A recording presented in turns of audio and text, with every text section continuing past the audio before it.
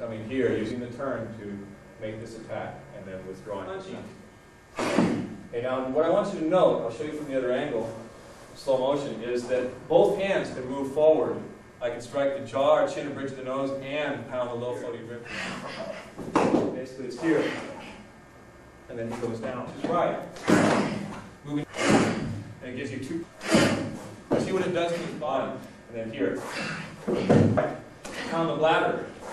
Pound the back brain as I sidestep. Turn from the other side.